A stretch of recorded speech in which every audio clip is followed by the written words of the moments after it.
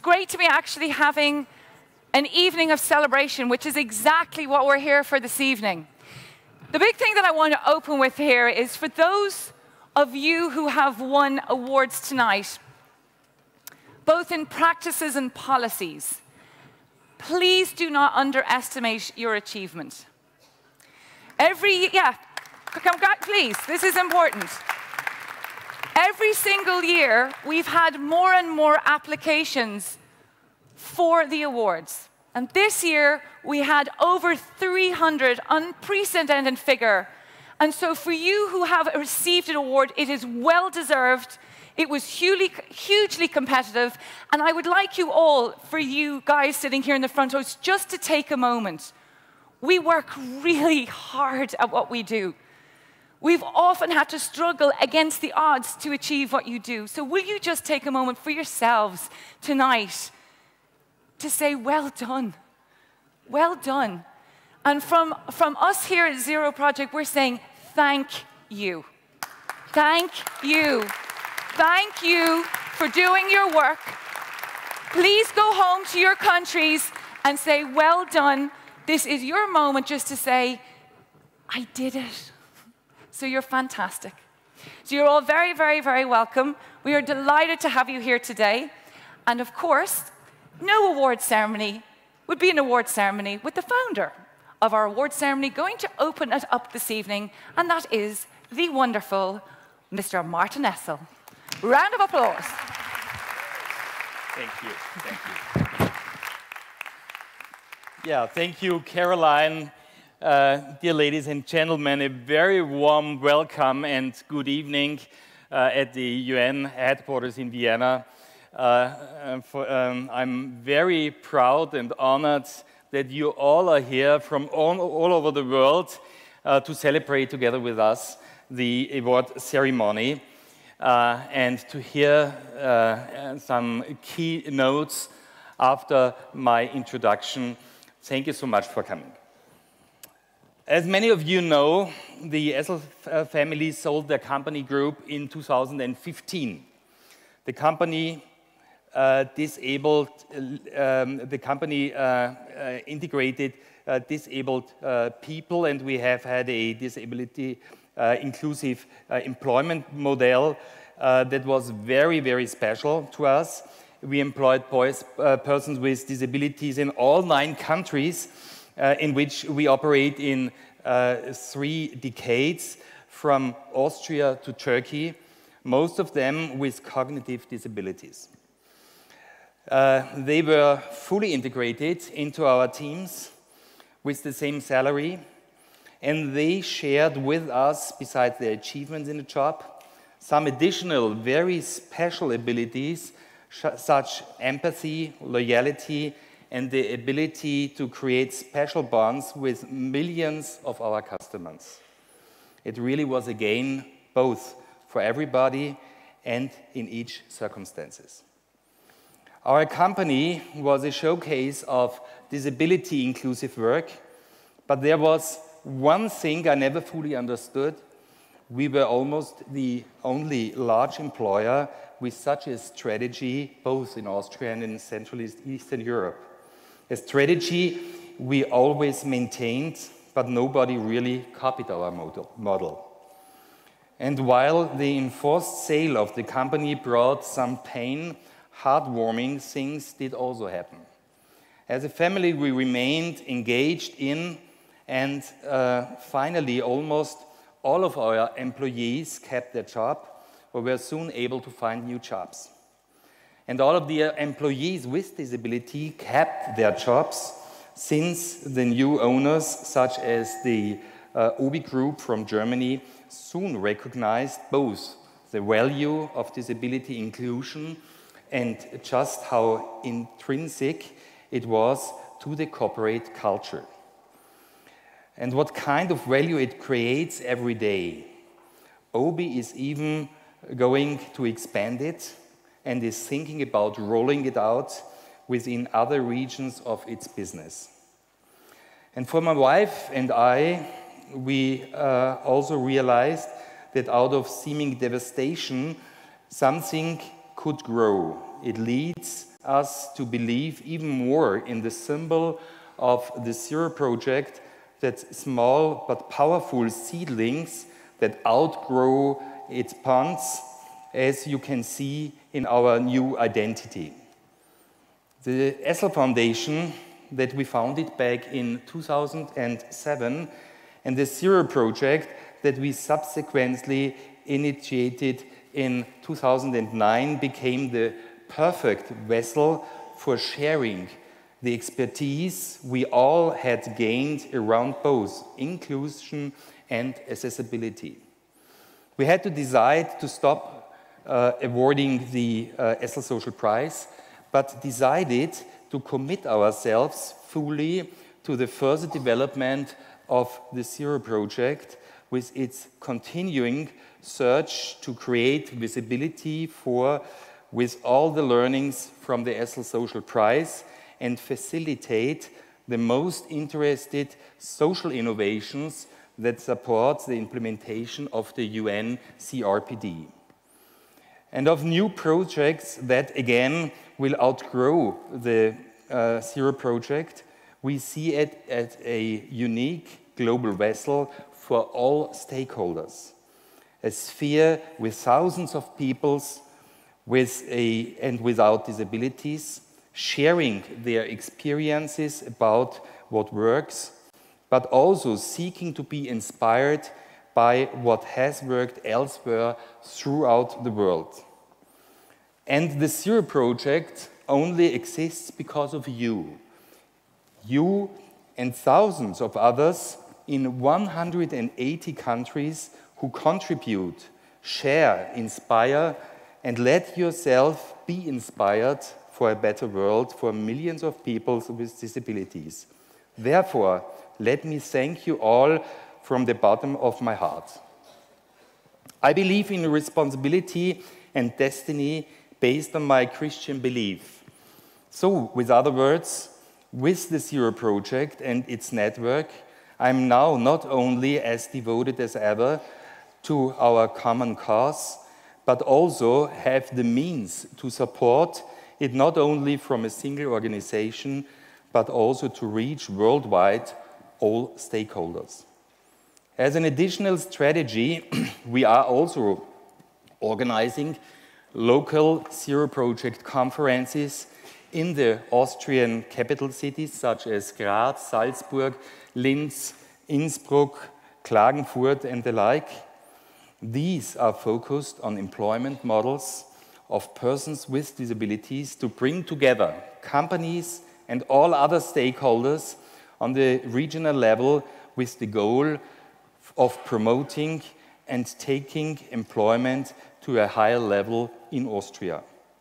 Since the Zero Project's establishment, a total of around 3,000 experts and organizations from more than 180 countries have contributed their time, help, knowledge, and experience in many different ways. And the network continues to grow daily. Isn't that fantastic? Uh, I have organized our research topics on a four-year circle.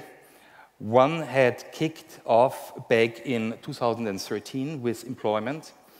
In 2014, we addressed accessibility, independent living and political participation in 2015, and last year, 2016, we looked at issues around education and ICT.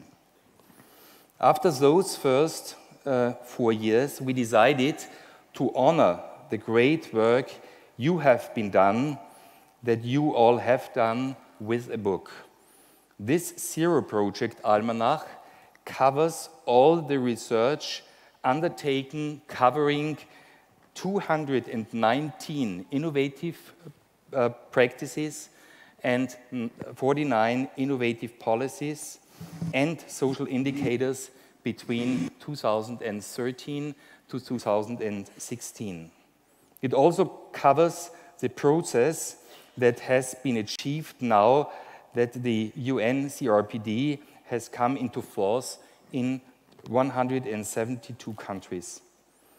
It links the importance of the UN CRPD with the needs of both constant in innovation and collaboration.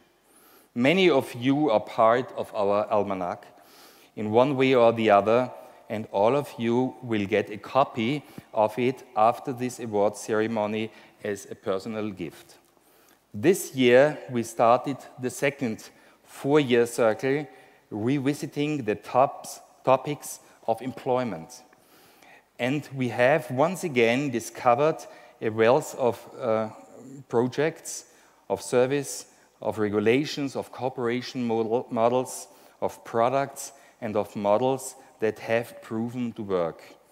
56 innovative practices and 11 innovative policies. Most of them are here today to receive personally the honor of Zero Project Innovative Practice or Innovative Policy uh, 2017. Most fascinating me personally was the presentation of two highlight innovations uh, and the development after the Zero Project Awards to Torkil Sonne from uh, Specialist and Frank Hoffman from Discovering Hands. That should motivate all of you, uh, the new awardees today. The innovation you all created can and will change the world for the better. Again, all of you, a very warm welcome to uh, the awarding ceremony, and thank you so much for being with us. While I'm sorry I can't thank uh, all of you individually, I should like to give my personal thanks to every member of the Zero Project Network for your restless passion and desire to abolish all existing barriers faced by people with disabilities and to build bridges to a better world. My speech thanks to all those personally engaged in organizing the global research, the conferences, and the internet, to Michael Fembek and his very effective team in Vienna, Brussels, Geneva, uh, New York, and Tokyo with Wilfried, Tom, Ingrid, Amelie, Doris, Sima, Caroline, and Martin, the other Martin, uh, who takes care of the social media, and the many other helping hands. Thank you so much.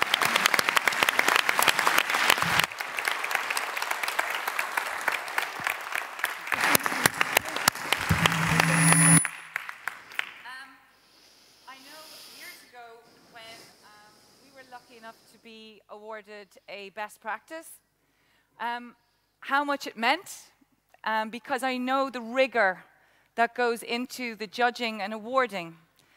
Because this isn't just happy clappy. You really care about the work, and you really care about the integrity of the work. So it meant a huge amount to me to receive an award. And a huge part of that is the people that you bring around that judge who receives a practice or a policy award. And one of your partners over the years, a very important partner, has been the World Future Council. And we are delighted to ask to come to the stage today Ms. Alexandra Wandel, who is the director of the World Future Council, and to thank you so much for the huge amount of work that you've contributed to the success of the Zero Project Conference and the Zero Project. Thank you very much.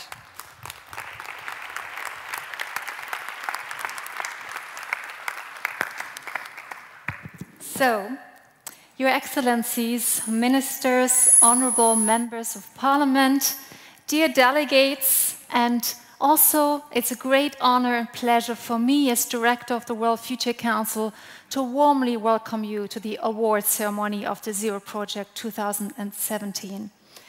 It's a, it's a delight to see so many representatives so, from so many countries from around the world here tonight. And it is the sixth conference and it is the third award ceremony. And the World Future Council is very proud to co celebrate this tonight with the Essl Foundation. Now, the World Future Council identifies best policies to the most urgent challenges of today, according to internationally recognized standards that have been set by the International Law Association. And we then work directly with decision makers, with parliamentarians, with parliamentary hearings, study tours. We also have a website called futurepolicy.org.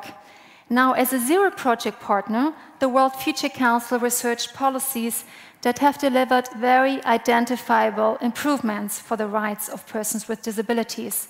So we are really delighted that you are here with us tonight to celebrate the results of this year's work.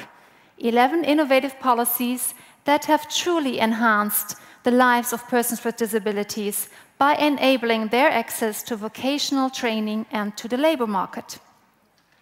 So, decent work is a source of personal dignity, of family stability, of peace, and of democracy. It is essential for realizing other human rights, and it forms an inseparable and inherent part of human dignity. Yet, persons with disabilities have to overcome great challenges in order to find a decent job. Challenges that are multifaceted and complex. The available data speaks volumes. A survey of the World Health Organization in 51 countries found that the employment rate for men and with disabilities is 52% only, and for women only 19%, compared to, to 64% for men and 29% for, for women for the total population. So this inequality not only leads to poverty and discontent, but also to real economic costs. The International Labour Organization estimates the loss to be 3 to 7% of the global GDP. This can only be changed by the implementation of policies and best practices securing the rights of persons with disabilities to ensure full inclusion in society. Moreover, such policies need to be developed from best practice. However, we do not always need to reinvent the wheel. Indeed, some countries have already implemented outstanding solutions. For example, Ecuador. The Ecuadorian government is supporting self employment in microfinance for persons with disability, enabling them to develop their own business ideas and to become entrepreneurs. In many countries, it is a big challenge that skills development is not inclusive to persons with disabilities and that such training is not market oriented. Bangladesh, with support from the ILO, has initiated a reform to promote an inclusive skills system, which includes a 5% enrollment target for persons with disabilities, the training of vocational staff and disability inclusion, developing pilot training, and engaging potential employers. Egypt equips people with disabilities with the skills required for work in the ICT sector and places them in ICT companies where they are employed under conditions equal to non disabled employees. Employment services play a key role in enabling job seekers to find jobs suited to their skills and interests, and employers to find the workers they seek. A number of our innovative policies address successfully the lack of cooperation between training entities and employment services providers, for example, Peru and Chile. Australia recognized that effective workplace adaptation and support is pivotal. Its job access service provides practical assistance to people with disabilities, employers, employment service providers, and the community, and helps them to access advice regarding resources, financial assistance, and workplace services.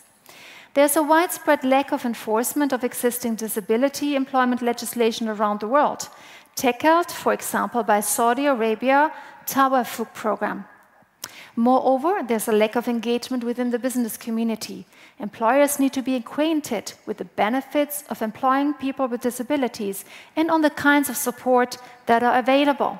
For example, Canada's Ready, Willing, and Able initiative enters into a direct dialogue with employers and raises awareness amongst them as to the value of hiring employees with an intellectual disability or autism spectrum disorder. As a result, now employers are convinced that overall it's no different than hiring any other employee. Many countries still struggle to overcome sheltered employment settings. Am I aiming to boost open labor market inclusion of persons with high support needs? Vermont, for example, progressively increased the scope of its supported employment program. By 2002, it had closed all sheltered workshops, becoming the first US state to do so and saving considerable amounts of money. Indeed, the way support is estimated has to be reformed. It must embrace the philosophy of active citizenship, underpinning the convention, and thus realize that all citizens are able to actively participate in the community, ensuring a maximum choice and independence. The US Social Security Administration has released a study which states that over one in four of today's 20 year olds will become disabled before they retired. Therefore, in light of such statistics, it is important to ensuring that people who acquire disability are reasonably accommodated at work, and this is of utmost importance.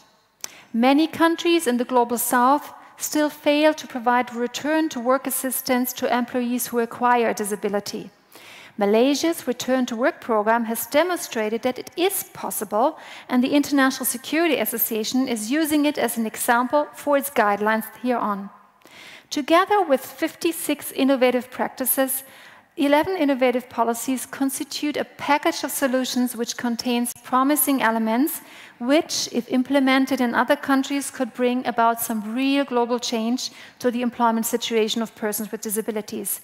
They would not only save taxpayers money, but also would, they would create equal opportunities to persons with all types of disabilities in the labor market as requested by the UNCRPD.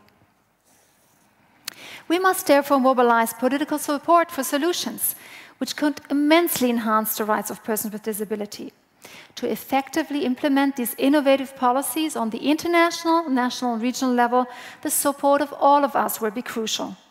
Worryingly, some politicians seem to believe that the financial crisis means that we can no longer afford to expand or even maintain our human rights commitment, but must cut back on entitlements. Yet, we are in a times of crisis and insecurity, but this obviously is still not an excuse. So, existing resources need to be better, better used.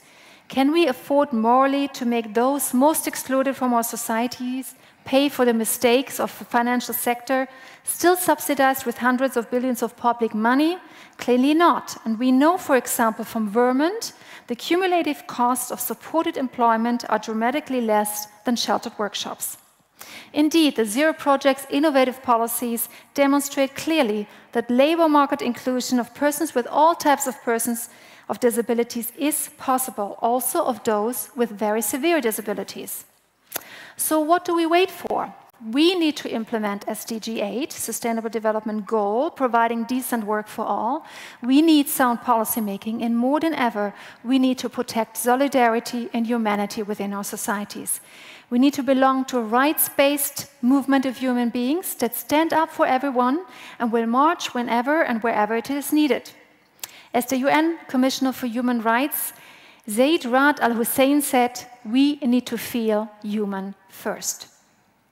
Ladies and gentlemen, it's a great pleasure to be here with you, policy and practice representatives, to highlight 11 innovative policies and 56 innovative practices that, after hard work of awareness raising, daily improving persons of disabilities, rights to work, to be independent, and to be happy.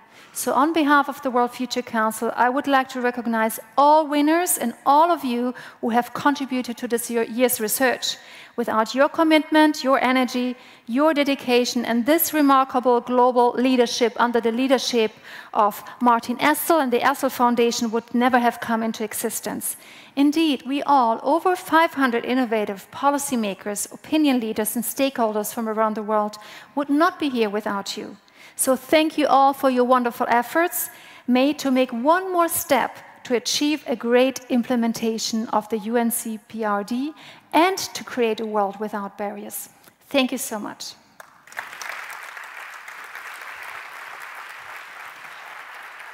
Thank you. Thank you. Thank you very Thank much. you. Thank you very much, Alexander. Um, as Alexander has just said, um, we're operating within the implementation of the UN CRPD, this rights-based approach. And we can't forget this. And in recognition of this, our final keynote speaker this evening, we are absolutely delighted to welcome the Honourable Justice Richard Bernstein, please to the stage.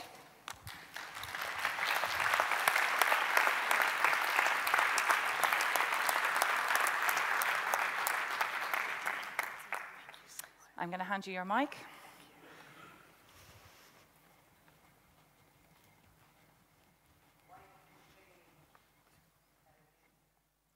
I don't know, the mic's not working.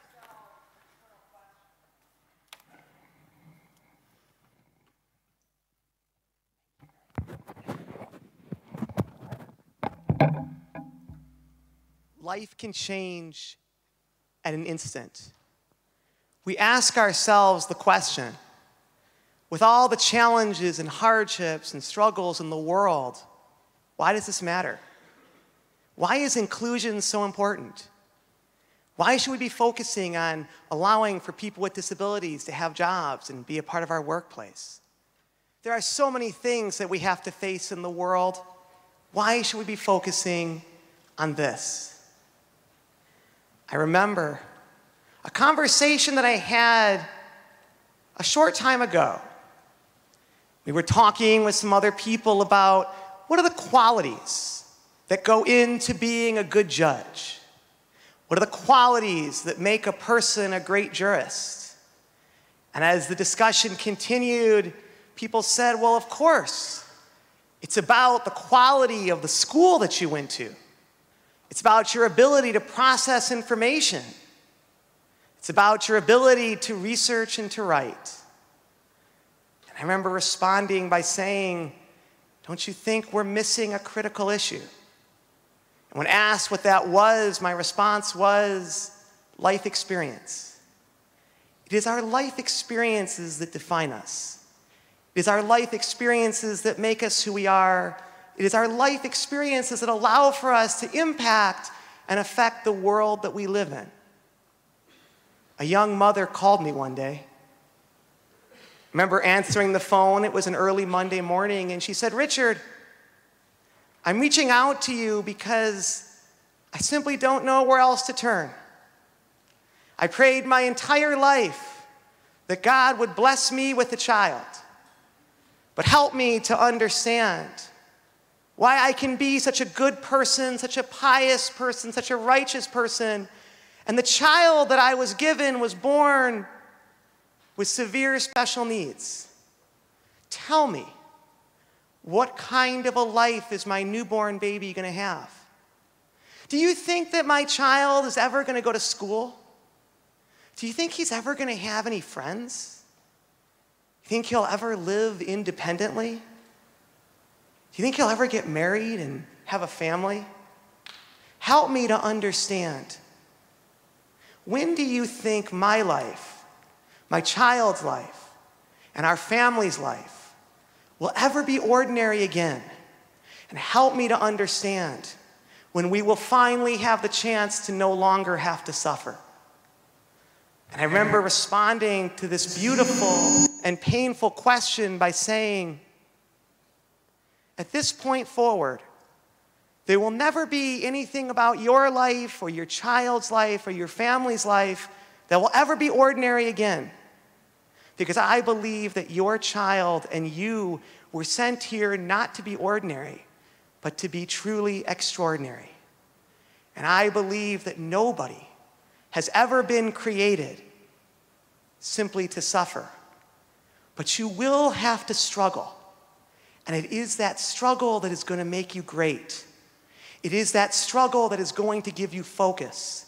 It is that struggle that is going to give you strength. It is that struggle that's going to give you power. It is that struggle that's going to allow you to realize that an easy life does not always correspond to a good one.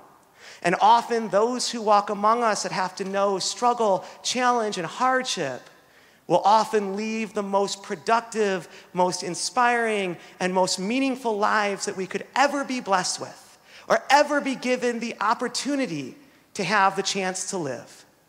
We all ask ourselves the eternal question that goes back to the book of Job, which is why is it that bad things happen to people who are otherwise so good? And why is it that there are some who walk among us that have to know a greater struggle a greater challenge, a greater hardship than others can possibly imagine or even attempt to fathom. Now, I have been blessed to have had the opportunity to complete 20 marathons.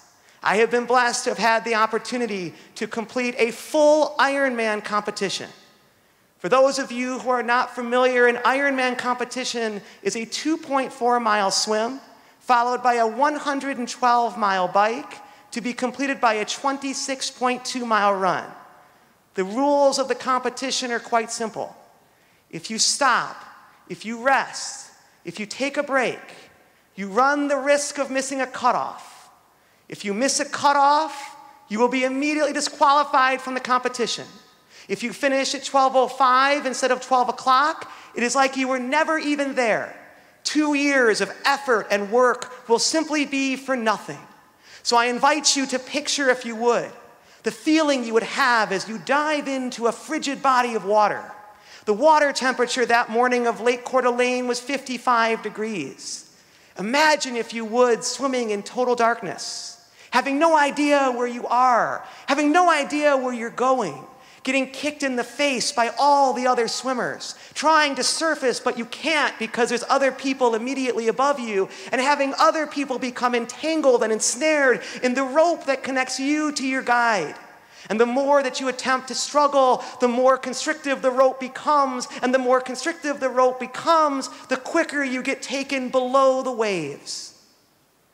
You realize in life that when there's pain, that when there's hardship, that when there's fear, it is those who know disability, it is those who live with disability that come to realize the most sacrosanct message of life. That yes, there are many who are created whose bodies are infirmed, but it is our spirits that know no bounds. It is our spirits that, if given the opportunity, can rise to levels that people never even thought could be possible. When you ask, why does this matter and why is this so important? When you give a disabled person a job, when you give a disabled person a chance, we know what we are capable of. We know what we can accomplish. We know what we can do. The essence of why we are here is to allow for those who do not have disabilities to realize what we are capable of, to realize that we simply need an opportunity and need a chance. Because if you give us that opportunity, if you provide us with that chance, we will come to the workplace with a resilience, with an energy, with a passion, and with a spirit, the likes of which you have never quite had the chance to see. Because for us, we are used to adversity. For us, we are used to challenge. For us, we are used to hardship. And if given the chance, we can apply that hardship, we can apply that adversity to that level of determination that is needed for success, that is needed to create opportunity, that is needed for an excellent workplace. I conclude by sharing one last story about why this is important and what this all means. It was a beautiful day in New York Central Park. I was walking in the pedestrian lane. So I was walking a beautiful August morning, 85 degrees and sunny. As I walked, a bicyclist was traveling at over 35 miles an hour. And with a high rate of speed, the bicyclist lost control, veered into the pedestrian lane where I was walking, and struck me in the back. Life can change in an instant. A 35 mile an hour impact by a bicyclist required over 10 weeks of hospitalization at Mount Sinai Hospital in New York City. At that point, I had done 17 marathons and had used athletics to find my voice and my strength. It is those simple things in life that you truly miss the most. You miss what it's like to have the chance to use the bathroom or take a shower. You miss how it feels to be able to sleep through the night without having to writhe in an indescribable pain. People used to come and visit me, and I'd always ask them, So tell me, where are you going after you leave the hospital? And they'd say, Oh, I'm going to go for dinner. I'm going to go visit some friends. I'm going to go to work. I'd always respond to them by saying, Those are the things in life that you have to cherish. Those are the things in life that bring everyone to this conference from all across the world. That is what this is all about. It is those little things that we strive for. It is those little things that make life worth living. It is those little things that give life its true essence. That ability to do things like have a job, like ride a bus, like go to school. Those are the things that people with disabilities crave. Those are the things that people with disabilities long for. Those are the things that people with disabilities dedicate their lives to fighting for. And I ask you all to celebrate those small victories in life no matter how small or insignificant you think they are, I ask of you to celebrate each and every single one of them. I remember celebrating that first day that I could sit up in bed. I remember celebrating using a walker for the first time. And I remember celebrating what it felt like to make it to the nurse's station. It was just a short time ago, and it was time for the New York City Marathon. This would be my 18th, but the first after a catastrophic injury. Running the New York City Marathon on a shattered hip and crushed pelvis would be difficult to say the least. As we ran to the streets of New York, the pain became so severe and so intensive that when we reached mile 18, I remember praying that I would have the strength and the ability to work through the pain and finish this race. And what you find in life when you have a disability, it's that those are the moments that truly define each and every one of us. For those are the moments that we're able to say goodbye to our old lives and accept our new ones. Those are the moments that we're able to find a peace, a peace with our new body, a peace with our new life, and ultimately a peace with our Creator. So, in conclusion, why is it that this conference is so important? And why is it that bad things happen to good people? And why is it that there are some who walk among us that have to know this greater struggle and this greater challenge? It is our responsibility to use the experiences that we are given, the challenges and hardships that we are given, to make life better for other people, to impact other people, to affect other people. So, why is this important and why do we have to face this and what do we hope will come from it? I believe the answer goes something like this At a certain point in life, when you work with a disabled person, when you spend time with a disabled person, you will learn the most critical lesson of all. You will learn the simple idea that at a certain point in life, you can't spend your time and your energy and your effort trying to get over it for you realize you simply have no other choice but to just get on with it. For those who know the struggle and the hardship of life will do what is hard and achieve no less than what is truly great. For we must celebrate life the way we celebrate a novel. With any novel, you will always have chapters of pain, struggle, and difficulty. But it's only through those chapters you will come to find hope, joy, and triumph. We gather here today to celebrate life. We gather here today to celebrate the way that we were created. We gather here to celebrate the mission that we are on. We gather here today to celebrate the idea that extraordinary things can, will, and must happen for us all. But most importantly, we gather here today because, yes, there are some who have infirmities, but it is our spirits and our souls that truly know no bounds.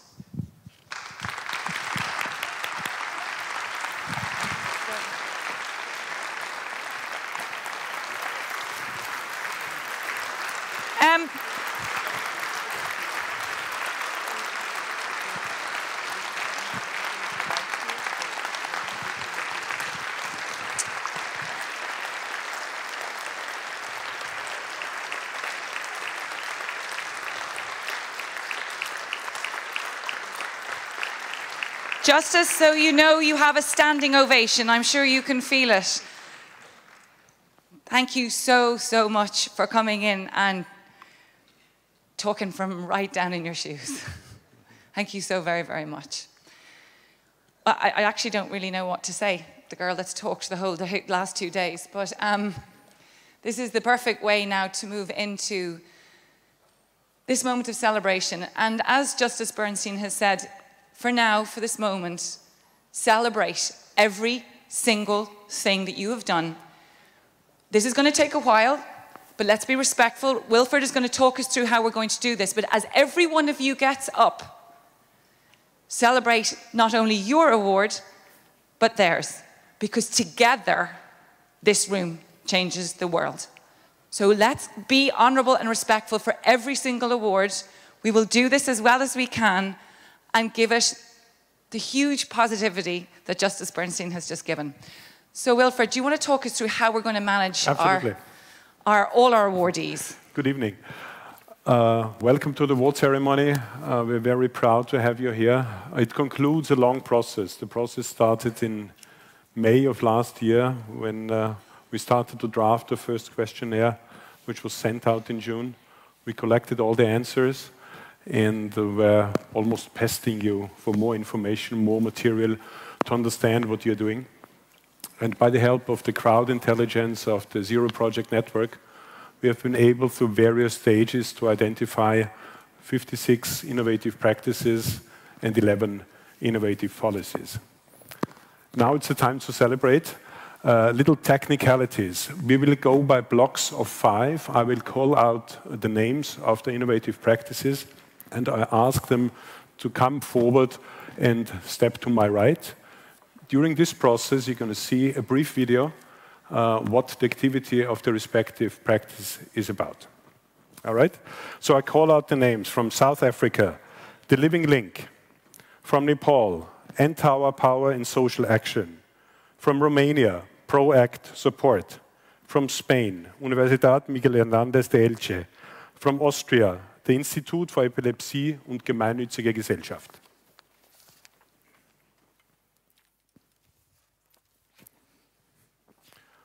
The innovative practices from South Africa, Nepal, Romania, Spain, and uh, the Living Link. The Living Link is a non-profit organization that implements a model of supported employment for young people with disabilities. In 2015, 50 people were hired. EPSA is a non-governmental organization that produces and sells a variety of felting and knitting products made by young women with disabilities. In Romania, ProAct supports people with disabilities who formerly lived in institutions. They help them to find and retain employment in the open labor market and to live independently. Tempe, a shoe manufacturer from Spain, and APSA, a local service provider, have hooked up for a long time.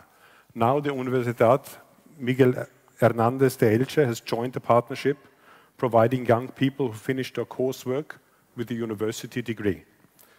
And LEA is a non-profit organization operating in the country state of Styria in Austria. They provide a variety of services, amongst others, training, advocacy campaigns, workplace adaptation to people with epilepsy. Please come forward to receive your award.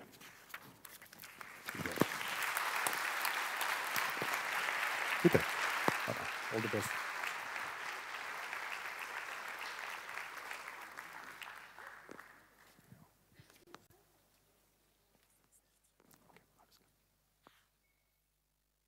Caroline.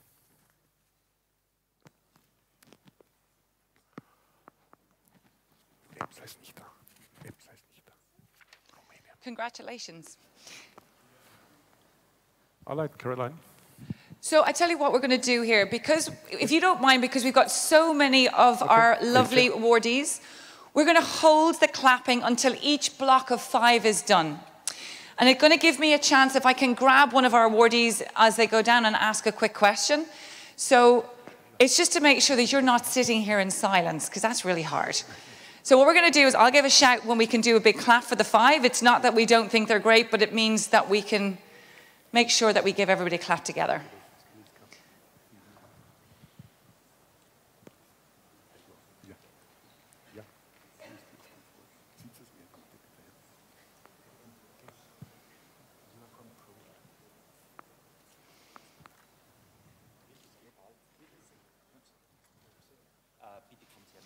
So none of these things ever go straightforward. Um, I could start to sing, but I'm not sure that's where we're going to go with that one. I might run over here to our, our, our upcoming awardees and say, how are we all feeling this evening? Are we very excited that you've won awards? I'm very touched by the speech gave by the By the Justice? yes, yes. What touched you about it? The message and the feeling. Yeah, yeah. And, and the thing is, we don't get to hear people talking like that very often at conferences like this, right? Oh, no, it's very inspiring me. Yeah, I'm very touched. I'm less speechable. Les- So, what country are you from? um, sorry, What's your, what's your country? Romania. Well, you're very welcome. Congratulations. Tell me, are you excited to be winning an award? Yes, of course. And, and so, what country are you from? From Austria. From Austria. Yeah. And tell us, what was your um, aw- uh, practice that you were winning for? It's the epilepsy thing. We are providing people who search jobs. And so, how many people do we think have epilepsy in Austria? Is it something taken very seriously? Yeah, um, it's hidden um, it, because people don't want to go out with this disease. So it's, it's difficult, and there are people who need us, yes. Well, congratulations. Fantastic. Wonderful. Please come along. Please. Alles Gute. Very good. You want to talk to some people who have received the award? No. Okay.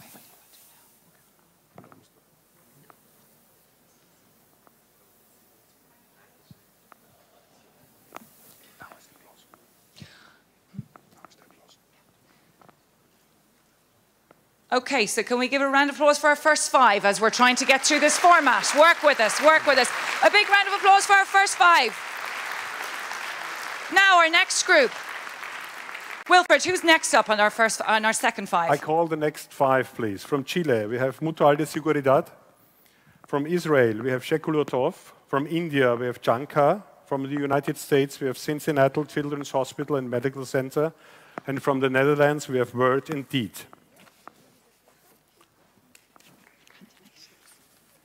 Please, wait, wait a second. So what does Mutual de Seguridad do? It's a social insurance company. They developed a model to reintegrate persons in the job market after they suffered a labor accident resulting in a disability. The MICE initiative brings together all stakeholders, including family. Shekulo Tov is a service provider that promotes the, the employment of people with psychosocial disabilities. They provide them with skills, development, and training programs. Janka is an NGO from India based in Calcutta, and they run a costume jewelry business. Their products are designed and produced by people with intellectual disabilities. The Project Search from the United States prepares young people with intellectual disabilities for a successful employment and job development. In 2016, Project Search operated 405 different programs. And the Netherlands, Word and Deed is, runs a variety of support programs around the world. Their job and business service models targets people with and without disabilities to minimize the gap between vocational education and the actual job market. Please step forward. Congratulations. Caroline? Okay, so now I'm going to go back into the questions. Now, anybody here first time at the Zero conference of, of our awardees? Your first time. So, what is your, what's been your feeling about this conference? I'm super excited being uh, surrounded by people that do the same work that I do. It never felt like this before. I hope you've made loads of connections, have you? And so tell me, how, did you, how have you enjoyed things? Have you made, did you do the thing and get three connections for collaboration and friendship? Uh, I don't know, but uh, hoping to get uh, someone to collaborate with. Fantastic. So you did a great session earlier on today, which was absolutely fantastic. What has your, been the kind of key message for you taking away from this conference this year? It's about collaboration of people from around the world, and we do more together than we do alone. You're our perfect advocate, our ambassador. and tell me, from what country are you from, and what's your practice that you're being awarded for? I'm from the Netherlands, and uh, I uh, present tomorrow a model which is called Job and Business Services, which makes vocational training more effective and efficient. So, what time is your session at? At 11, so everybody is welcome. 11 o'clock, your session is wonderful. We'll keep an eye out for you.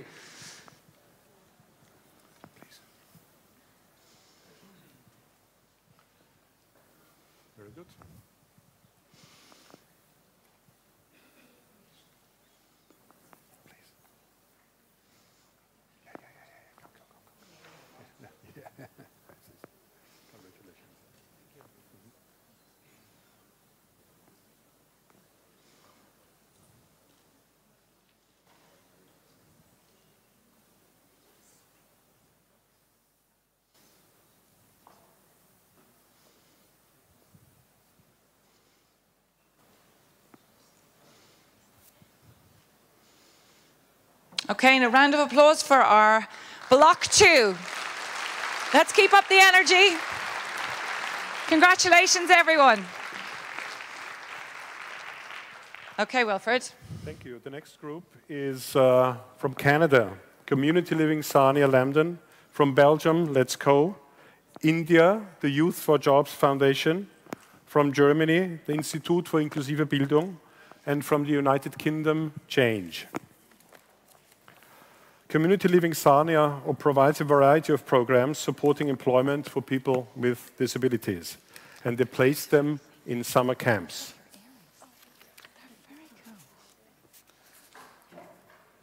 Let's Go is an educational center for young adults with intellectual disabilities in the province of Flanders in Belgium. They organize practical trainings and internship.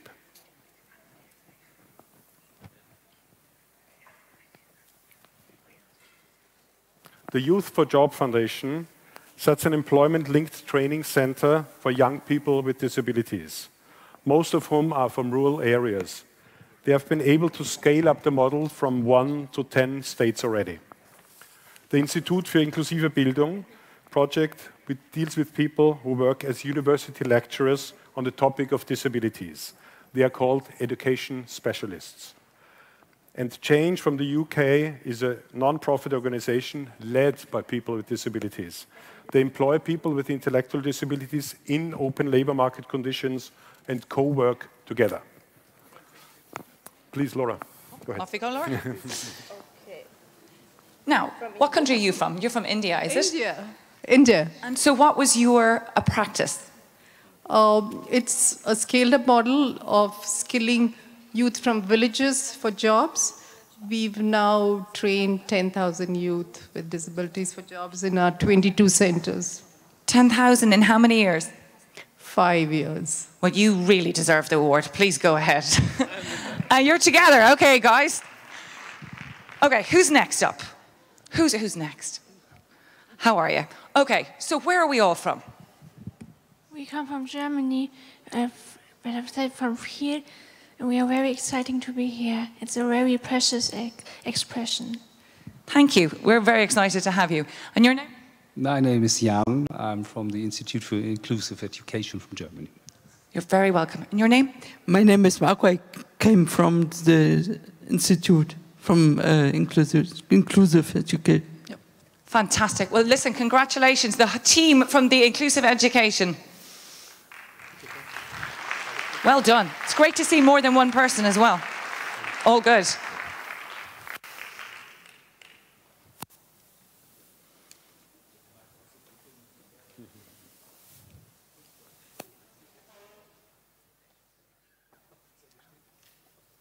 Just to let you guys know, in case you've been counting correctly, we only have three out of those five here today, and the other two practices are not available. But that does not mean that we do not give them also a huge big round of applause.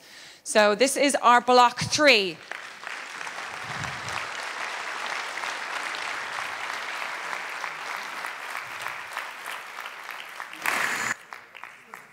Right, Wilfred, let's call up the next group.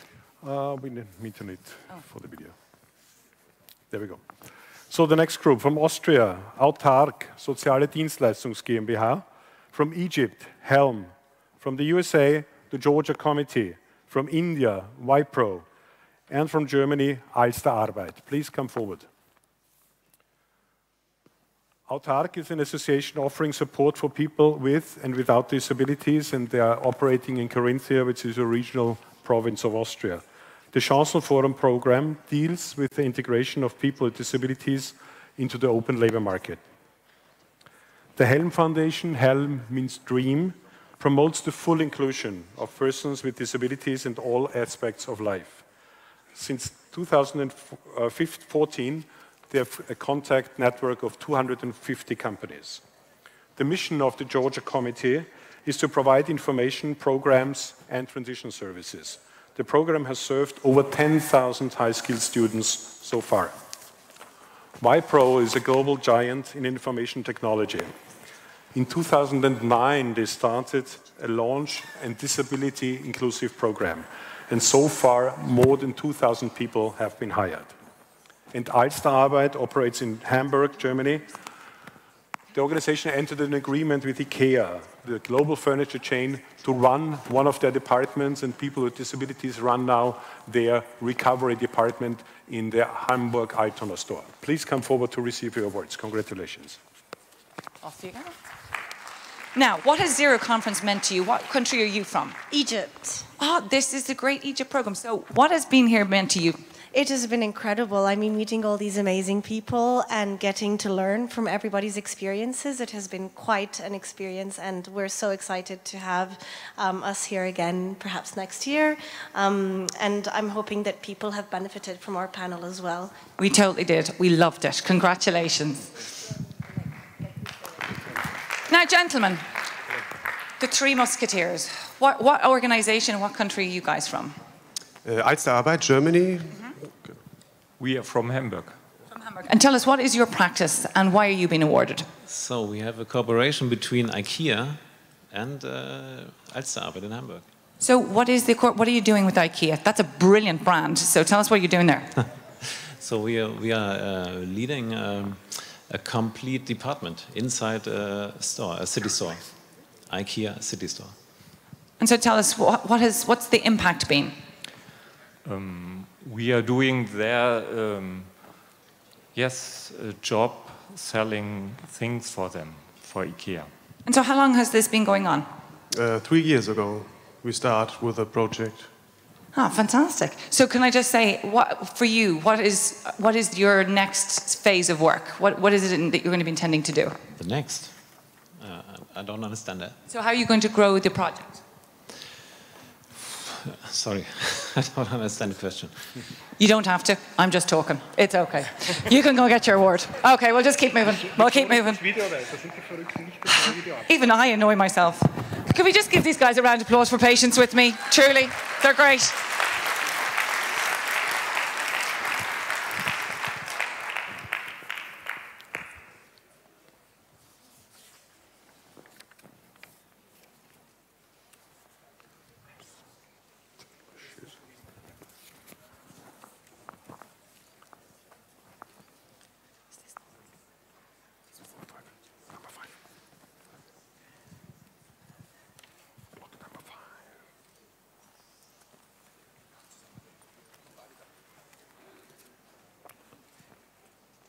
A round of applause for our fourth batch of my appallingly handled questions. Thank you very, very much. I would like to call out the next people from Paraguay, Fundación Saraki, from Bangladesh, Young People, Young Power in Social Action, from Taiwan, the Standard Chartered Bank, from India, CBM, and from Austria, Lebenshilfe Salzburg. The Fundación Saraki provides vocational training and job matching services for people with disabilities and tries to employ them in the public sector. So far, the, the number has risen from 230 to 2,000 in 2015. The Young Power in Social Action is a non-profit social development organization. Together with partners, they provide microfinancing solutions for people with disabilities and they select them for free microcredits. Seeing is Believing is a program by the Standard Chartered Bank in Taiwan, and it promotes corporate awareness and creates diversified employment opportunities. CBM is an international disability and development organization. Their inclusive organic agriculture value chain brings together 11,000 farmers with and without disabilities. And the Lebenshilfe Salzburg is an Austrian NGO and a service provider in the regional province of Salzburg. They started a cooperation with companies and public institutions to integrate people with disabilities in the open labor market. Please come forward. Leah, please.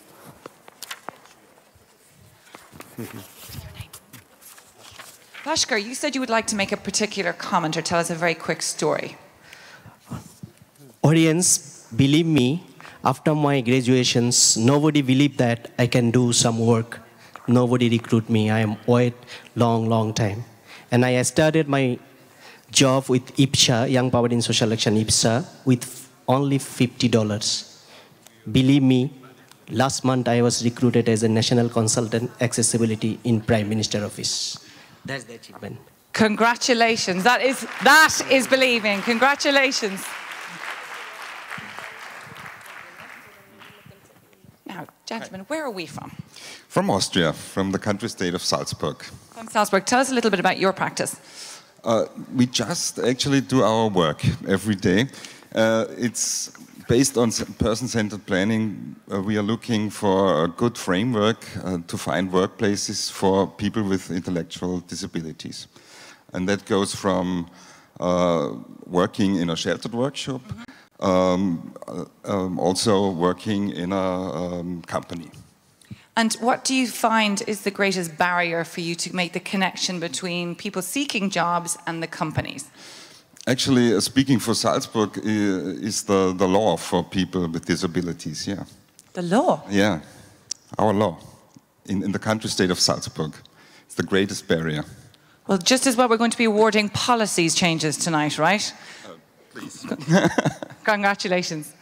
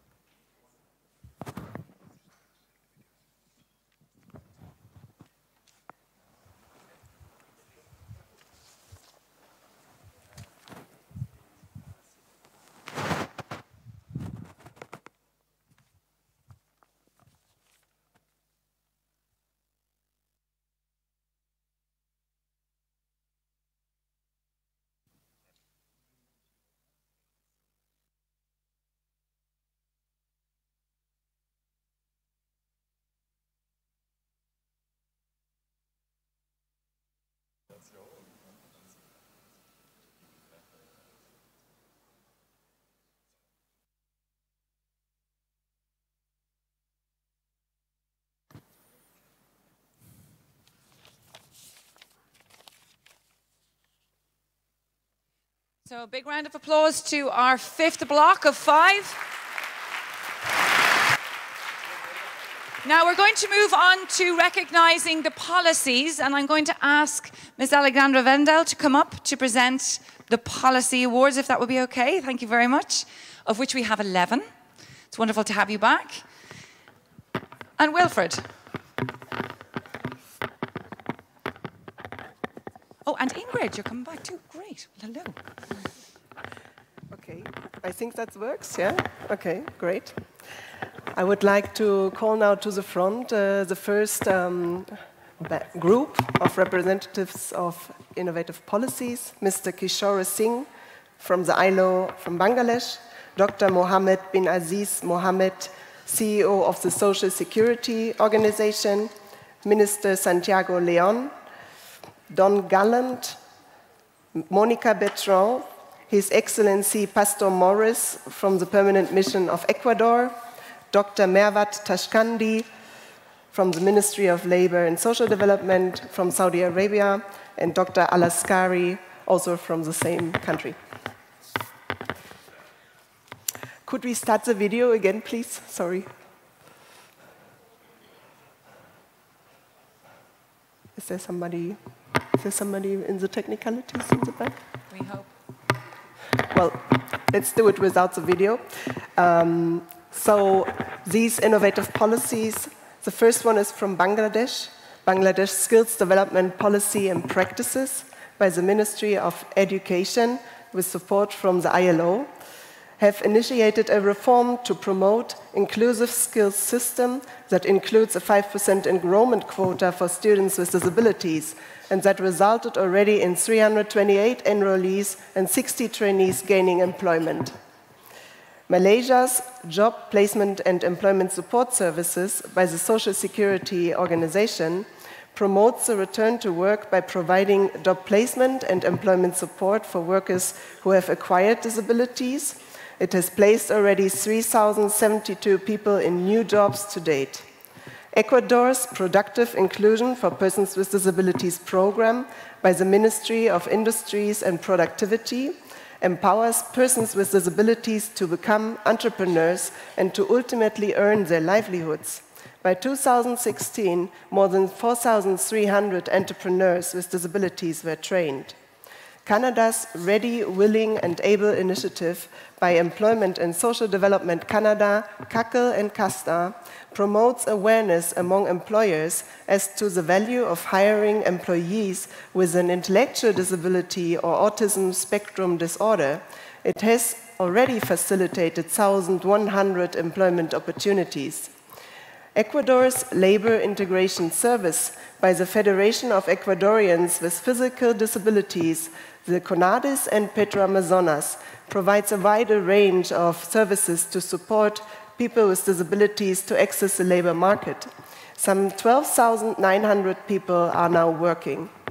Saudi Arabia's Tawafuq Empowerment for Employment of Persons with Disabilities program by the Ministry of Labor and Social Development focuses on the creation of an inclusive private sector and increased the number of employees with disabilities from 15,000 to 16, 62,000 in five years.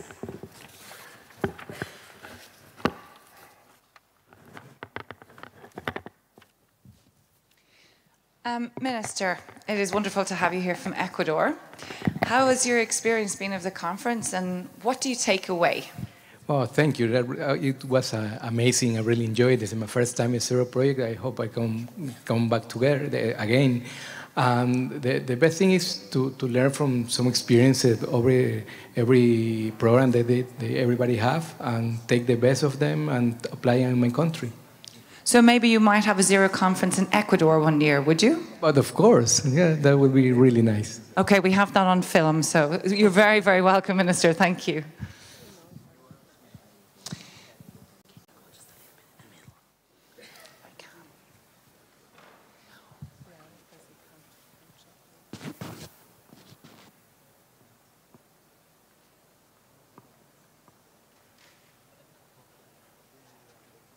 Okay, I'm going with the flow. Tell me, what has been the, your greatest memory of the conference? Both of you. Um, well, mine was amazing because uh, there was this lovely opportunity to meet other people from other different parts of the world and to share, uh, you know, their um, experiences as well as their their know-how. And I think this is really wonderful. Also to realize that there's a lot of commonalities and success stories and barriers. So it was really wonderful. Have you had a bit of fun as well? Oh, yes, absolutely. I do think we need a bit more dancing. What do you think? Absolutely. Yeah, I think some back. Dancing. Say that, say that again? You can never have enough dancing. Yeah, I think we should get some theme tune for next year. What does anybody think? For sure.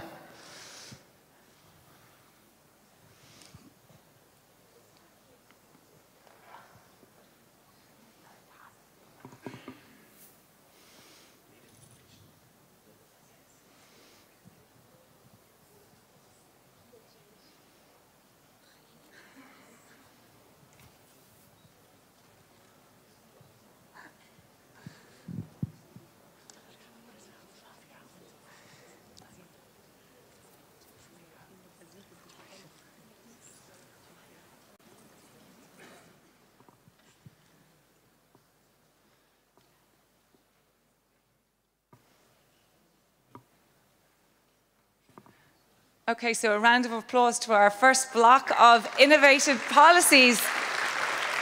And to see such representation from government is really quite amazing. So thank you all so very, very much.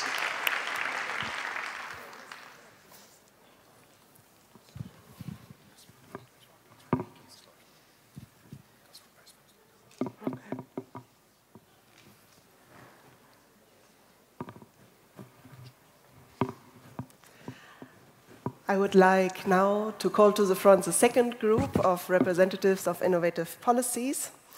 Mr. Brian Dick from the University of Vermont Center on Disability and Community Inclusion, Lisa Culbertson from Upper Valley Services, Elizabeth Seidler from um, Champlain Community Services, all for the Vermont Supported Employment Program. Um, then His Excellency Brendan Hammer, Ambassador of Australia. Monica Georgina Honoris Incio from the National Council for Inclusion of Persons with Disabilities from Peru.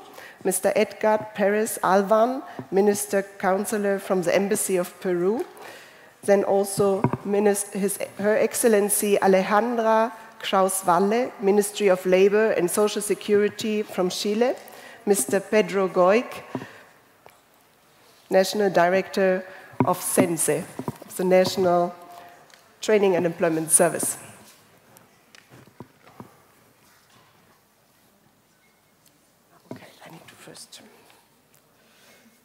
So Vermont's supported employment program by the Department of Disabilities, Aging and Independent Living provides a full range of services that enable individuals with developmental disabilities to access integrated and competitive employment.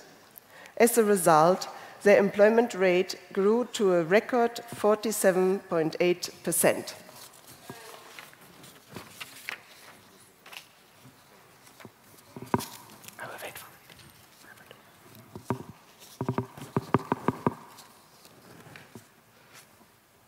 Now, I'm going to ask the Minister of Chile, would she like to say something? It's wonderful to have you here, but I would like you to speak in your own language because this is inclusion. So why should you speak English? Would you like to speak in your own language? No, my own language. Eh, muchas gracias. Ha sido una experiencia tremendamente honorífica. Eh, estamos profundamente agradecidos de Zero Project, pero fundamentalmente lo que a la presidenta Michelle Bachelet eh, le significa estos programas de inclusión es generar la diversidad, es generar una sociedad más justa, la búsqueda de la justicia social de verdad. Y por lo mismo agradecerles a ustedes, agradecerles al CENSE, el servicio público que encabeza los programas sobre la inclusión en materia de discapacidad, agradecerle al sector privado, a la sociedad civil de mi país, de Chile, que nos acompaña y que también han sido reconocidos. Sin ellos no es posible hacer realidad de una sociedad más justa, más inclusiva y un país más diverso. Muchas gracias. Well, muchas gracias. I may not understand Spanish, but I can see how passionate that you are. And for being here, that is your passion and dedication. Thank you very much, Minister, for being with us. Yeah.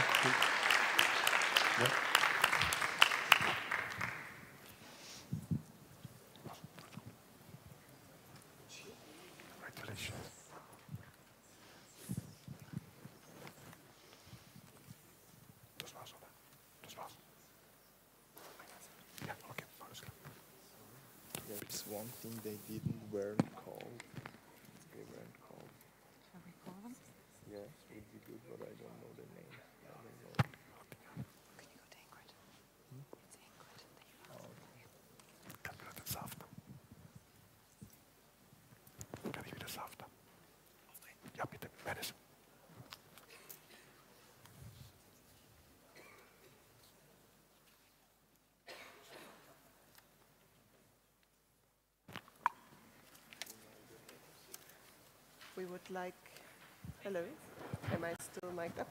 Okay, we, can we please give a round of applause for the second block of policymakers?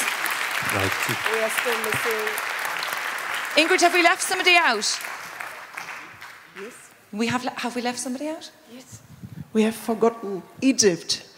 Please come to the front, Dr. Shafver from the Ministry of Communication and Information Technology. So you're going to have the floor completely to yourself. We are very sorry. We apologize. We're doing blocks of five. Thank you very, very much. We're very sorry.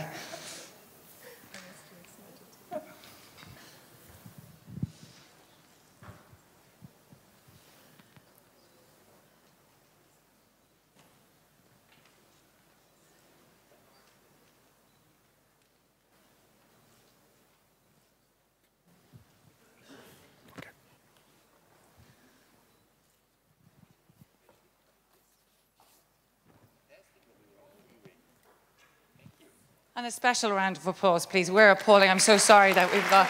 I'm so sorry. This is really hard work. Sorry. Okay, Wilfred, we're back on to practices. Is that correct? Absolutely, yes. Wonderful.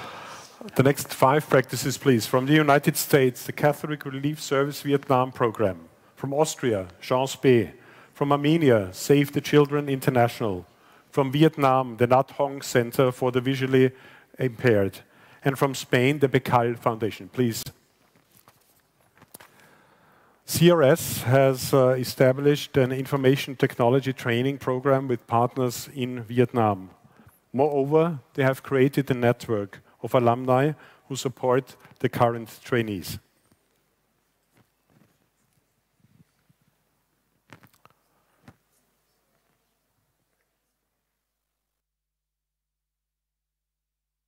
They're working in IT technology there.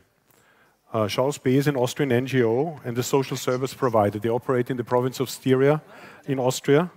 And amongst its services is a service program that called Housemasters that provide full-time employment for approximately 60 people. Save the Children operates the LIFE program in Armenia. They provide inclusive vocational education and employment for people with disabilities, starting as early as primary school and ending with job placement. The Nhat Hong Center for the Blind and Visually Impaired operates in Ho Chi Minh City in Vietnam. Their career training program creates a personalized career according to the needs and capabilities of the persons involved. And the Bequal Foundation from Spain has created a certificate that focuses on disability as an integral part of corporate social responsibility. This standard was developed to make employment of people with disabilities compatible with the CSR standard. Please.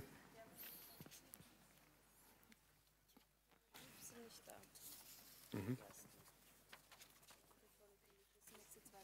Mhm.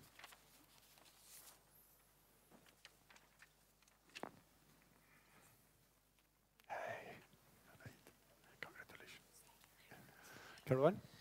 So we have one of my uh, organisations that I partnership with is Foundation ONCE. So you're from Foundation ONCE, but could you just talk us through your practice that you're being awarded for here this evening? Yes, we promoted a certificate called Bequal. So I received the award because I'm part of the board of the Bequal Foundation and I was in the team that uh, started this project. So our um, experience in collaborating with companies uh, uh, was the, the, the, the, possibility to uh, define and design this certificate to help companies to improve in disability uh, performance. Well, I'm a big advocate of that because we worked with you with Telefonica with the Ability Awards, and it's wonderful to see you continuing on that work. Where do you see the biggest examples of best practice are with companies? Okay, we have uh, such uh, um, um, um, quite an amount of companies certificated in Spain. So we have, for instance, Repsol, which is the petrol uh, company, but also in the public sector, we have also developed a certificate for public sector. So and also universities. So uh, it can be implemented in, in many places, in many uh, organizations. Well, maybe we can take this be globally. It will be fantastic to see a global standard. So congratulations. Congratulations.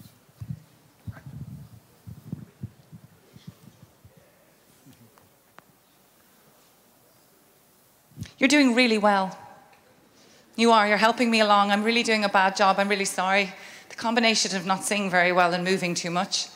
I think it is Justice, uh, Justice Bernstein energy you've put into the room, so we cannot thank you enough because they're still alive and awake and clapping. We're doing really well. I really wish I could sing, Wilfred. It would be great, wouldn't it? You should, you should. I really wish I could. Okay, so round of applause, please, for our sixth round of practices, I believe. Is that right? Okay. The next five from Spain, the ONCE Foundation from Canada, York University, from Russia, Perspectiva, from Ireland, CARE, and from Afghanistan, the Ministry of Rural Rehabilitation and Development. The Fundación ONCE is a leading foundation, as you know, in the field of people with disabilities. Through Inserta, they have an entrepreneurship program as an option for people with disabilities. Their support includes counseling, training, guidance, and financial assistance. DRPI Aware is a five-year project from York University in Canada, and they operate in India, Nepal, and Bangladesh. The project has successfully placed 163 people with disabilities in the open labor market last year. Perspectiva is a Russian DPO. They provide pre-employment training, job coaching, follow-up support, and internships. At the moment, they support 500 people. The CARE organization from Ireland, they operate a program called Project Search at the local general hospital. They offer young people with disabilities an internship program where they run through different departments. And from Afghanistan, the ministry supports village inhabitants to create micro-enterprises. This facilitates their access to finance as well as technical and marketing service. From the period from 2010 to 2016, they have created 143 enterprises. Please come forward. Okay, ONCE, this is your second time, back to back. Seriously. Hugo, please receive your award. There's a lot of action going on there in Spain. Now, Ireland, I, I mean, I have to pick my own country. Peter, tell us, what are you getting awarded for? Um, we're getting awarded for um, our participation in a project called Project Search, which is an internship project for young people to prepare them for the world of work. Now, are you around tomorrow? Because you did a great session earlier on today with another awardee winner. Will you be around to share some of that? Because I think internships is a really key process of transitioning people into work. Are you around to have conversation? I am indeed. My flight's at about seven o'clock, so I'll be here for a while. How come you're getting to go home early tomorrow? I don't get to go home. Because I'd be in trouble if I don't. Three days away, you'd be in big trouble. All right, yeah, there you go. I'll be here at 6 a.m. on Saturday morning. Now, congratulations. Tell me, what is your practice? Uh, our practice is uh, to make bridges between a business uh, community and uh, people with disabilities. And uh, Oksana is, uh, she lead this project. Well, congratulations. It's fantastic to have you here. Off you go for your award.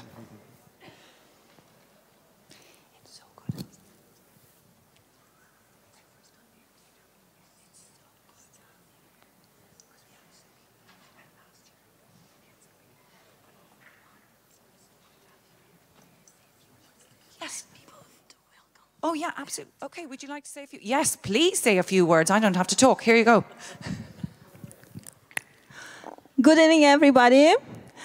And it's a great pleasure for me to be here. And uh, actually, thank you very much. And I like to thank uh, Zero Project team and Essl Foundation and uh, World Future Council. And also, I'd like to invite uh, all of you tomorrow at 2.45 to our presentation at M2.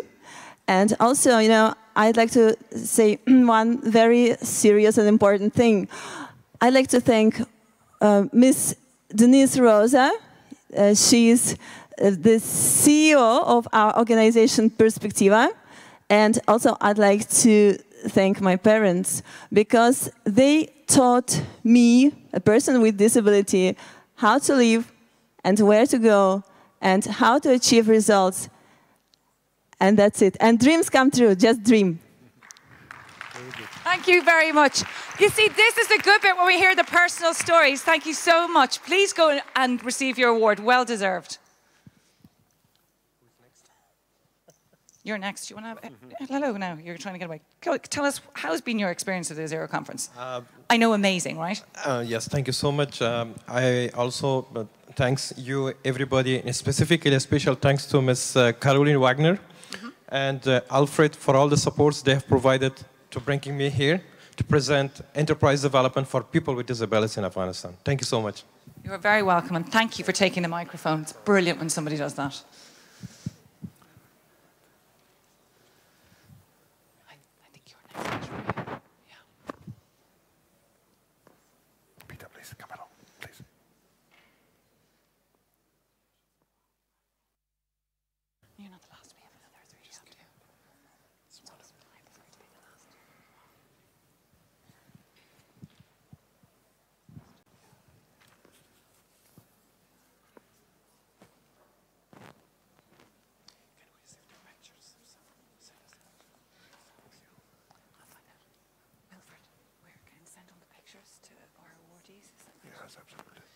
Just so everybody knows, this is a good question. For all of you awardees, you will be sent your pictures, by the way. We're not just keeping them for ourselves. So after the ceremony, you will all get your award pictures. Very good question there.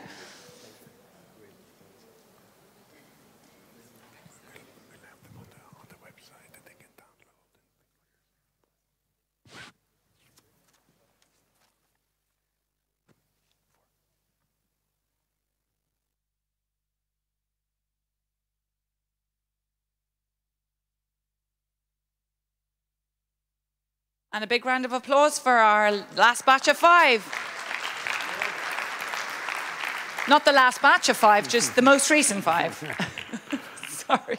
I'd like to call the next awardees on stage from the United Kingdom, ICEVI, from the United States, the University of Oregon, from Bangladesh, the CDD, from Ireland, WALK, and from Singapore, the Genashtim organization.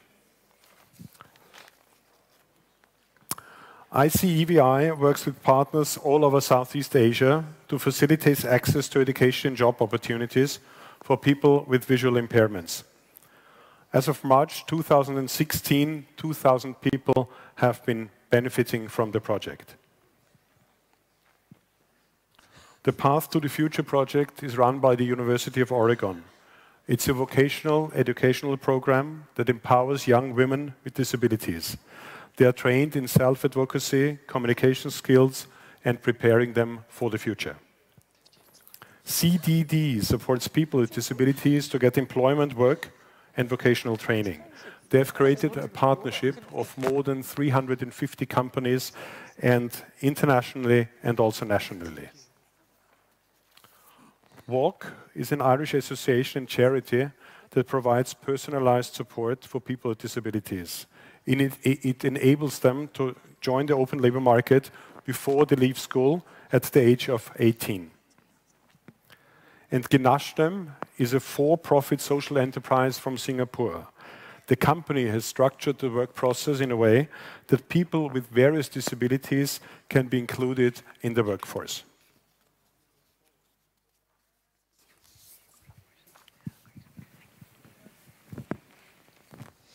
So tell me, what country are you from and what is your practice? Uh, I'm from Bangladesh, and the practice is about uh, uh, providing training for people with disabilities uh, to create uh, the individual capacities and also uh, to create the group capacities for self-help groups. So we provide training for individual level and also as a group level so that they can avail the opportunities in their own community. So like, I mean, building capacity so that they can collectively uh, seek for opportunities like from the government and then uh, private organization and also development organizations. And so what's your vision of success?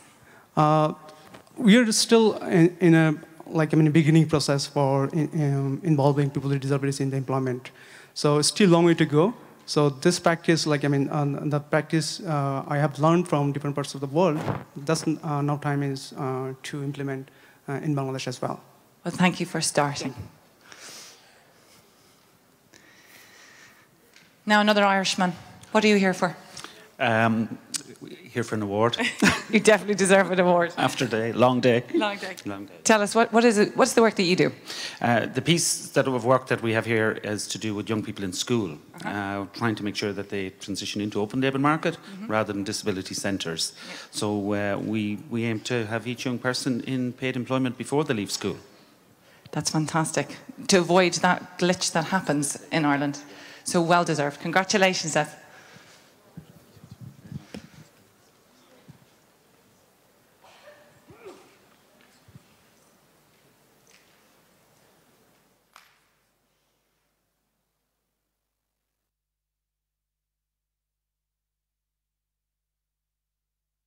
Okay, a round of applause for the for the five. I'm starting to lose my words. I'm so sorry. I've been talking too much all day. Okay, Wilfred, our next group. Yes, from Egypt, the Seti Center, please. From the United Kingdom, Sightsavers. From Armenia, the Bridge of Hope. From Romania, the Pentru Foundation. And from Lebanon, the Lebanese Physical Handicapped Union. Please come forward. This side.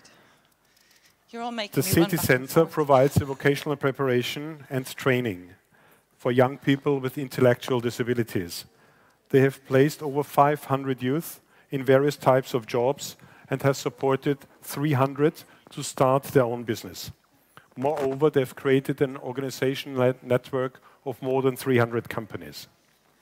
Connecting the Dots is a project initiated by Sightsavers and is implemented by its branch in Uganda. They provide individually tailored training sessions for unemployed young persons to enable them to participate in the labor market.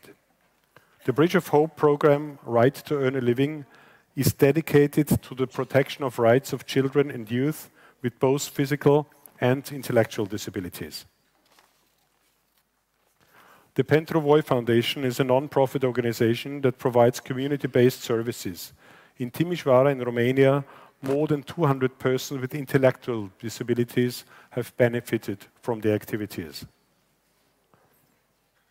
And the Lebanese Physically Handicapped Union is an advocacy organization for people with disabilities. Since 2012, they have created more than 200 jobs in various sectors in Lebanon and Palestine. Please come forward. I have to say, I, have sat on the board of Sightsavers for eight years, and it's wonderful to see Sightsavers here, and this is a great award. So, just a, just a little amazing piece of work. Now, tell me, what, what country are you from, and what's your practice? Uh, I'm coming from Romania, and uh, I'm a founder, and I'm running a foundation which provides services for people with uh, developmental disability, Pentru Voi. And so, what? How? Um, how is it to get funded there? If you're, is it easy to raise money in Romania for for work around people with disabilities? It's challenging, very challenging. I think it's uh, challenging all over the world to raise money, but especially in a country like Romania, which is a poor country, mm -hmm. uh, probably one of the most poor country in um, uh, European Union, together with Bulgaria. And it's also uh, the question of attitude because people uh, are not uh, so charitable. It's not a tradition that we have because of all the years of communism. So it's not easy. But uh, we, I think we have done a good job um, um, because of the EU projects in Romania, but uh, as well we have uh, this social enterprise. And when we started it, we thought that, uh, so our goal was not to lose money. And uh, after uh, five years, our surprise was that not even that we are not losing money, but we have a profit in our social enterprise, um, and uh, that uh, allows us to support social services. So it was much more than we expected. So I think that deserves a round of applause. A profit in a social enterprise in such a quick amount of time. Congratulations.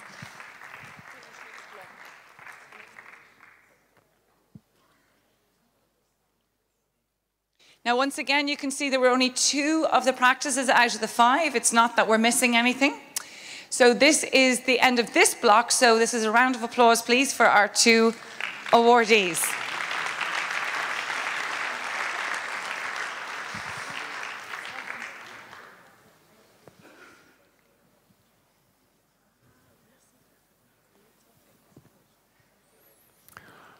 Second last group, please, from South Africa, Cape Mental Health. From Nepal, the Karuna Foundation. From Turkey, the Down Syndrome Association. From Jamaica, Deaf Can Coffee. And from Chile, the Fundación Descúbreme. Please. Cape Mental Health provides career path training for adults aged 18 to 65 with these intellectual disabilities in the training workshop Unlimited project. Each day, 550 people attend their courses. The Inspire to Care project is a project initiated by the Karuna Foundation, a Netherlands-based non-profit organization. The project is committed to disability prevention and community-based rehabilitation. The Down Syndrome Association in Turkey wants to create an equal opportunity atmosphere for people with disabilities. In the period from 2014 to 16, they've provided job opportunities for 30 people. Deaf Can Coffee is a social enterprise that trains young people with hearing impairments to become professional baristas. The company presently employs 25 youngsters as part-time on the campus of the Caribbean Christian Center for the Deaf. And Descúbreme, Discover Me, is a Chilean NGO. And with six partner organizations, they have started the process of certification to enable young people with disabilities to participate in secondary education and vocational training. Please come forward.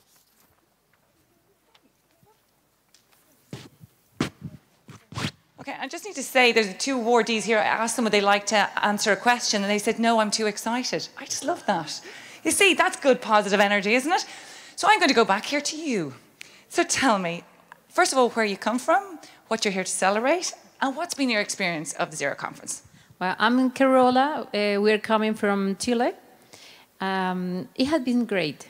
This is our first time in Zero Project, and uh, we have learned so much from what happened in other countries, uh, the, be the best practices that we have heard, and uh, working for uh, the future networking. So definitely we will be we will be trying to be here next year.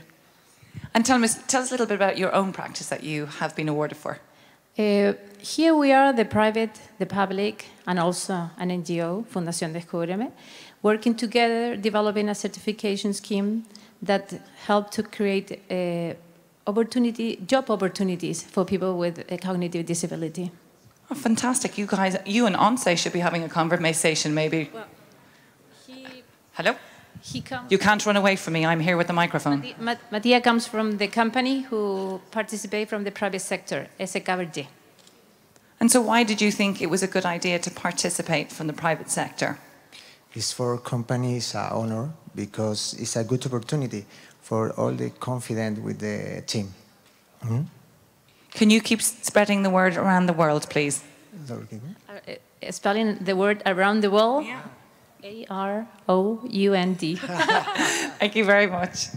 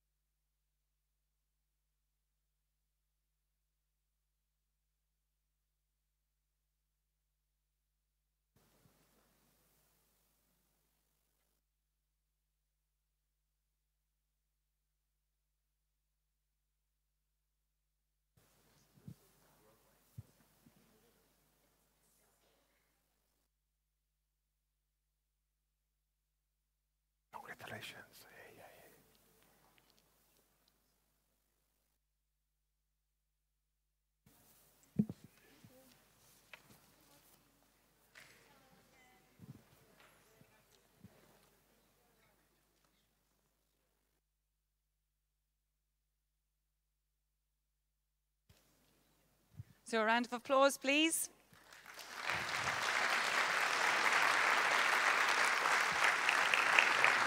And I believe, Wilfred, we're on our final five. Would that be correct? We have the final six. Oh, the final six. Apologies. Yes. The final six. From Israel, the Avnei Derech Lahaim. From Turkey, Engelsiz Kariyer. From Ethiopia, the ECDD. From India, the Equitas Holding. From Germany, the Univers Universität zu Köln. And from Lesotho, the Ministry of Education and Training. Please. Derech Mechina means milestones in life, and they provide a two-year transition program from high school to the open labor market for young people with autism.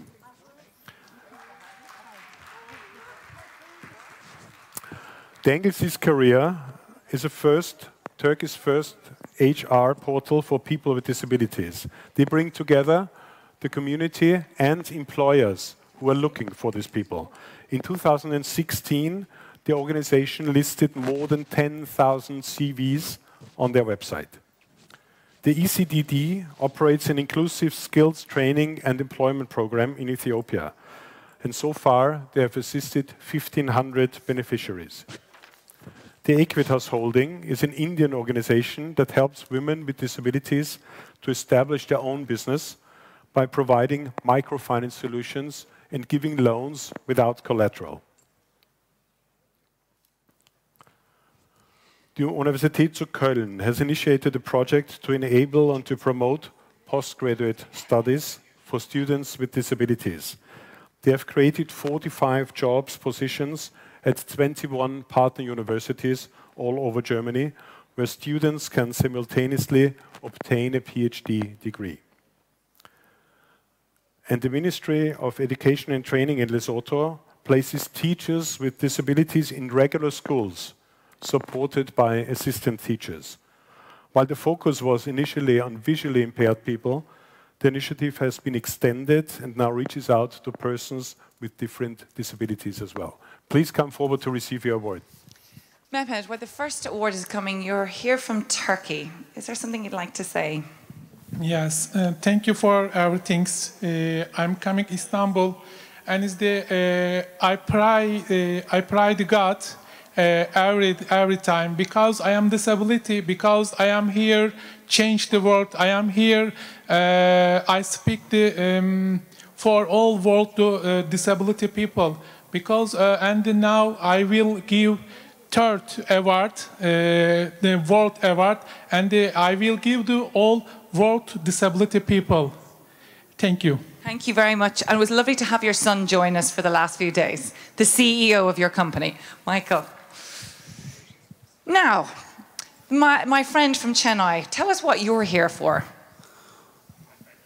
Uh, I'm from a microfinance organization, now become a bank, and uh, we uh, work with about 4 million clients, and uh, of which uh, about 18,000 uh, women with disabilities which is just 0.5%, but uh, I thought it was not a, a, good way to get. So I need to reach a bigger number, but this is a day of celebration, so I'm celebrating thanks to our good friend, the judge from the US. Yes, John, so we have to celebrate what you've achieved right now, but we were talking outside and you were saying that you would think that you'd like to bring a zero conference to India, is that correct? Yeah, that would be lovely. Can we have a zero conference, uh, zero project conference in India in 2018? And can you host it? Uh, I'll definitely host it. So we have a, a promise of a, a, conference in Ecuador and a, a zero conference in India. We're going to hold you to that, John.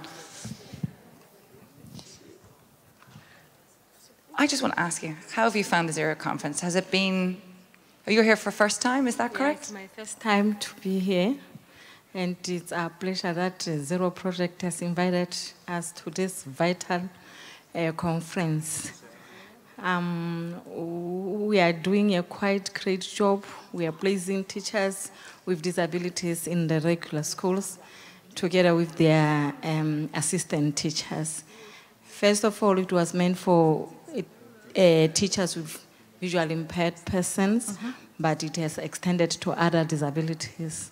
So we are really overwhelmed that we have been invited by Zero Project. We are really happy. We're very, very happy to have you as well.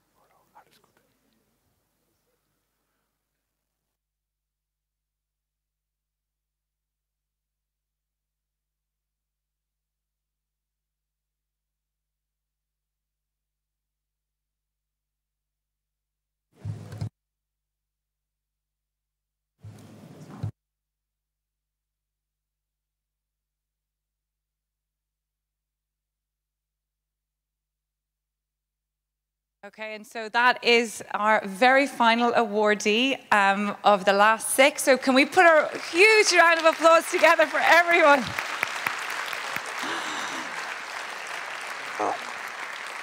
Guys, I'm so sorry. That I was rubbish. I really was rubbish. Between the running around and think I've spoken way too much.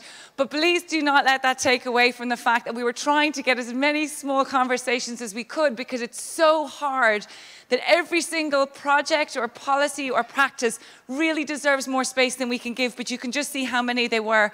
So thank you, all of you, so very much for what you have done joining these dots, the dots in this room, the dots outside the room, the streaming, this is really our time. This is our time. So we're going to ask all of our awardees, both practices and policies, to come and join us on the stage because we'd like a family photograph. Uh, Michael, hold on. No, no, no, Michael. And all of all of you who also want to join the family picture, so please come forward, everyone. So. Well, that could be all of us. Um, all of us. Oh no, Martin. Martin's now going to yeah. sing with me. And last but not least, please give Caroline a very big applause. I was rubbish.